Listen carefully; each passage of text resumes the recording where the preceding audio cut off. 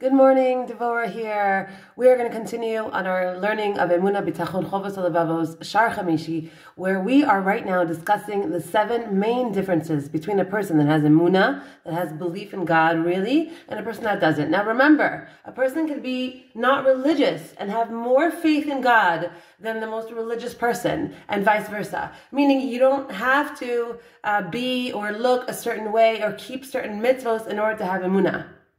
Emuna is a separate muscle altogether. It's a whole separate muscle altogether. Now, what is this thing called emuna? Emuna uh, means, bottom line, understanding that there is a higher power at work here, and there is something that is guiding your life, especially, okay, and you'll meet up with it in your life, especially when you don't like what this higher force is doing. When this higher force is acting in a way that you want it to act, when God is complying with your script, then all's good.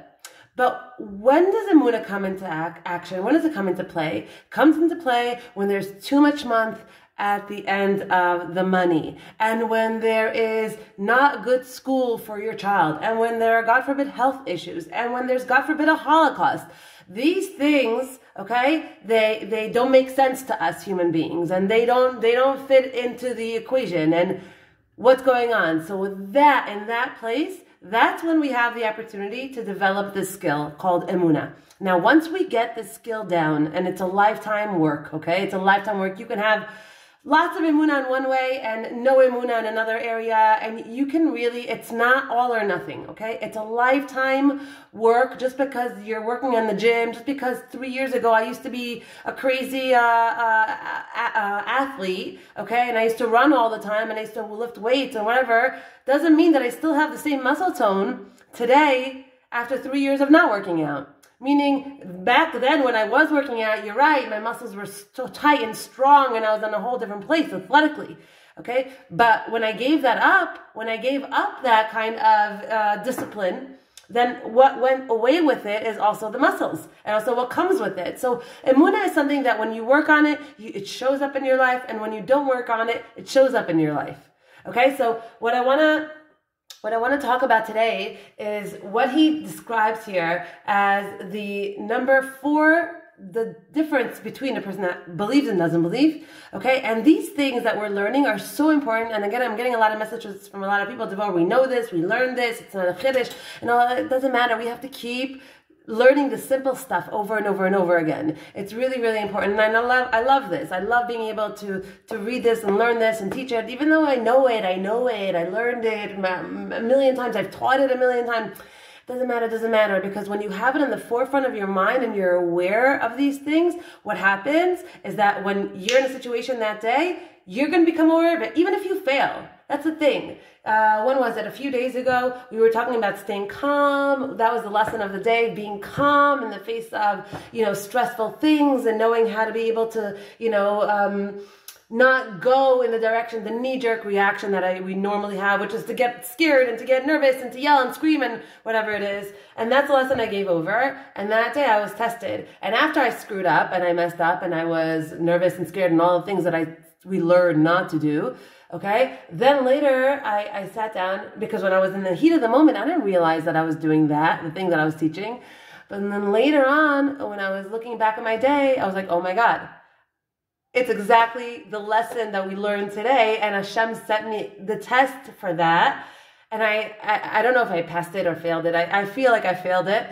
Um, but but just the fact that I'm aware of it and I wasn't spending hours thinking about how right I was you know, and how all those things, it just put things, it puts these things into perspective, these classes. So when we're talking about Emuna right now, we're talking about it in a way that you have to know it is a muscle and that the same way you work on your muscles in the gym, it's going to work for you in the same exact way. And that means that working on your Emuna happens not on stage, not on camera, not at work. Working on your Emuna happens when no one's looking, happens in your darkest moments, happens when you're scared, when you're nervous, when you're really, really, really experiencing something, even if it's not traumatic, but still it's it's an emotion that's coming up for you.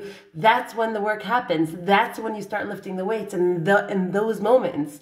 And then it shows up for you, okay, then all of a sudden you walk around and you're you have more emuna. And people are like, Wow, you you you're so calm, or like you're such a baal emuna. It's amazing how much you believe in God and how much, and that doesn't just happen. That's the daily grind, the discipline, the discipline of knowing that my brain is going to go one way and I'm going to bring it back to the center and tell the brain, okay, but we're doing things another way now. Now we're doing things differently. Okay, normally it, you're right to react that way 100%, but I want to be this kind of person. I want my reactions, my knee jerk reactions, to be ones of of thought and process and not just of, you know, what comes naturally. So these things, these disciplines are discipline, and emuna is a discipline. But when you do it, and it's small, small work every day, even if you do it a little bit, it shifts you, it moves you, it moves you completely. So today's lesson, what we're talking about today is the difference. The fourth difference is he talks about how a person that has money says the person that has his bills covered and he's good at the end of the money that he's that he used for himself the rest he will give away maybe not all of it but he will give away a lot because he has he has what he needs he has all his stuff taken care of. He understands that every single thing that he has in his life is from Hashem. All the money that he has in his life is from Hashem. So now, him being a giver and giving over, being a conduit, okay, is the only most natural next step. It's the only most natural next step and not hoarding it and holding on because what will be, what will be, right? Just like what happened to them in the desert. The ones that held on to the man because they needed, they, just in case, just in case we're not going to have any left over. Those were the ones that their man was, were, got, was, were spoiled. They found that man that they were holding on to so dearly to be spoiled because that's not emuna. Emuna is just like the Chafetz Chaim, right? The Chafetz Chaim used to work and every single day he would wo- uh, open his store. When he had, when he made the exact amount of money that he needed, he closed his store and he went to learn for the day. Okay? And why? Because they understood that if I have what I need for today, I am good. I am good. Don't spend the rest of your life, every single day of your life, worrying about what will be tomorrow. Because yesterday you worried about today, and today you're worrying about tomorrow. Last year you worried about next year. You were always worrying about when we don't. When do we get to live? When do we get to live? And that's what these lessons are teaching us. Stay in the moment, be present, understand that if he took care of you today, if you're, you have a roof over your head today, and you have health in your body today, you are the, one of the luckiest people in the world. Stay there, stay there, stay in that thought process. Don't go anywhere. Don't go ba, ba, ba, ba, because that ba, that ba will lead you down a dark path. And we don't want to go down that, that dark path. Doesn't mean that we don't need to be responsible. We need to be responsible. But that's not responsible either. Okay? To get, to move into that space of always worrying about what will be tomorrow, always worrying about where I'm going to be in a year from now, and living in that kind of stress and that kind of emotion. So he says over here, that's a person, that's the difference between a person that, that has emuna and a person that doesn't have emuna. What does he say about a person that doesn't have emuna in this way? He says that Dafka, him having money will it'll never be maspik for him. It'll never be enough for him. He feels like all the money in the world is is should come to him, and he's cheap with his money. He doesn't like to to, to let go of it. He'll see an onion and he'll say, "Look, he's fine. He's big. He's strong. He should go to work. Why is he asking me for a shekel? He should go to work."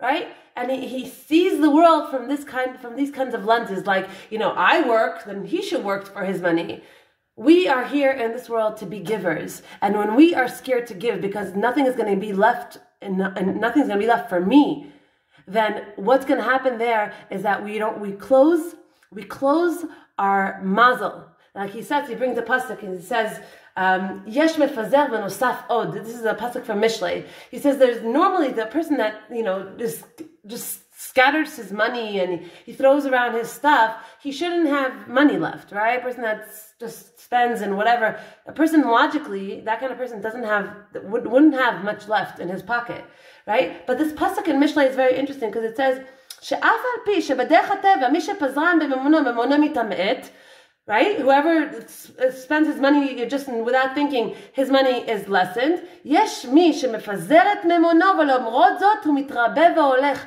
there is this concept that when you are when you are not counting your pennies and you're not saying, you know, I need this for tomorrow, I need this for the next day, but I have what I need for today, and I'm going to be a giver, and I'm going to reach into my pocket, and I'm going to make sure to, you know, give tzedakah. I'm going to make sure to make that phone call. I'm going to make sure to give that money to that organization. I'm going to make sure to do it. There are people that do it every single day, that give tzedakah every single day, that give tzedakah because the act of doing this, of stretching out your hand and giving to another person, whether it's help, whether it's food, whether it's uh, furniture, whether it's money, whatever it is, whether it's a smile, whatever it is, that act of being a giver allows you to receive more. Okay, that's how a person receives more by giving away. How amazing is that? And you have to have emunah to do, to do that. You have to believe that by you being a conduit in this world and transferring what you're given to somebody else that doesn't have, you being putting yourself in that position, that motion of giving, allows for you to continue being that kind of giver, for God to continue sending Shefa through you. So, in essence, when you don't have money and when you're looking for a job and when you are nervous, instead of holding your pennies, give them away. Give away your tzedakah, give away your time, give away your smiles, give away your help, give it away. Because when you're a person that understands that when I give, I become a, a recipient of light and love and money and all the good things, then that's the equation. And that, for that, you need emuna. And he says that that's the difference between a person that has emuna and doesn't have emuna in this in this text that we're learning today that a person that does will give away even if he's not sure where he's going to be in six months from now and how he's going to pay the bills. But right now he's going to give the 50 shekels, the $50 to tzedakah. Right now he's going to reach into his pocket and help another person with a smile and with a knowing that he's going to be taken care of and that God has him and that nothing that he is going to go through in his life is not going to, he's not going to be in a situation in his life where God's not going to be there for him. No matter what he goes through and everything is going to be for his best. Even if it's going to be something something difficult and hard to experience. So that's today's lesson. I hope it was helpful, and we will continue tomorrow.